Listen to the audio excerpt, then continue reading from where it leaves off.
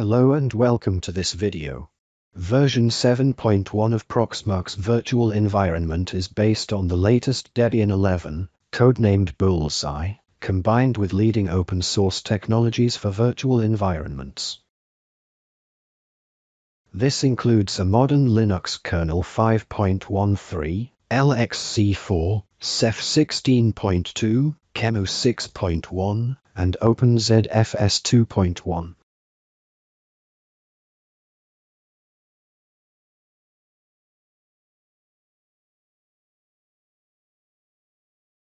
Newly created virtual machines have support for secure boot verification, allowing modern systems such as Windows 11 to run.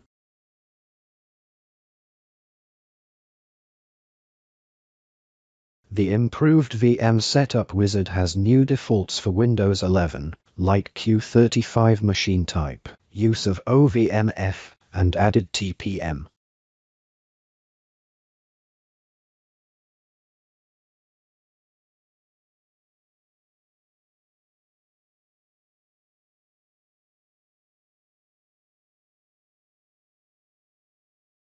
Make sure that you assign at least 64 GB disk space.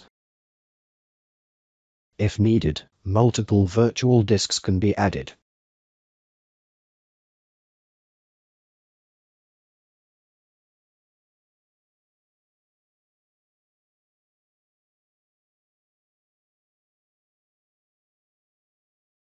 Assign two CPU cores and 4 GB memory.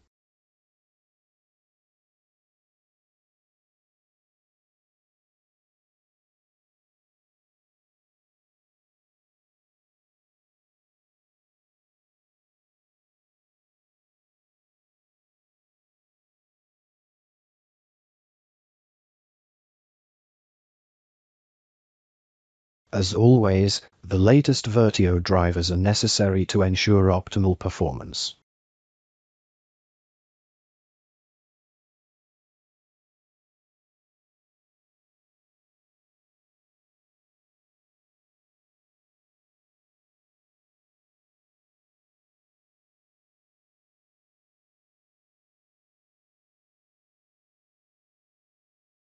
Backup jobs are now run by a new scheduler daemon and support more flexible scheduling options. If you want to test how various schedules will behave, open the Job Schedule Simulator. Enter a schedule or select a predefined schedule and adapt it to your needs. Let's run backup jobs every 3 hours. By pressing the Simulate button, you can see the effective backup times.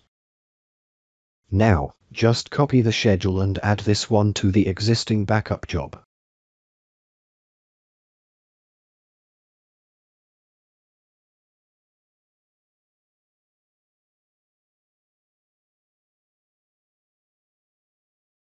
The retention setting allows you to set how long backups will be stored per backup job.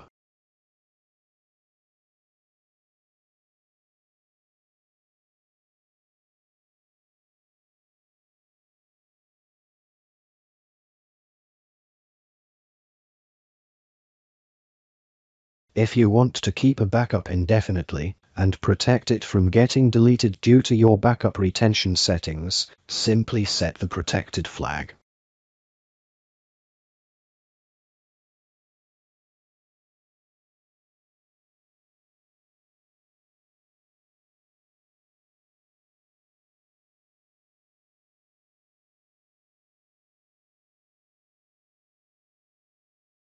Proxmox VE 7.1 supports web WebAuthn, superseding Universal Second Factor.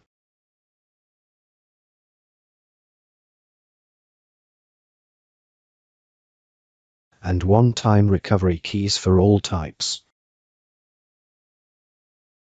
The configuration of multiple factors for a single account is now possible.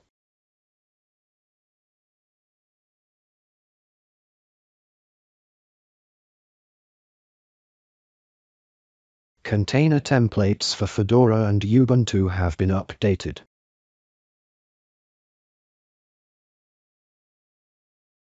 and support and templates for the Alma Linux and Rocky Linux distributions are now included. Both claim to be binary compatible with RHEL and can replace CentOS.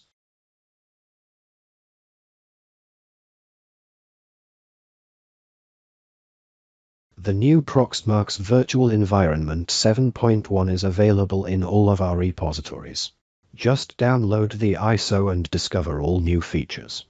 We hope you'll enjoy working with Proxmox Virtual Environment. If you have any questions, check out the Proxmox Community Forum for help. For enterprise support, go to our website for more information. Thanks for watching.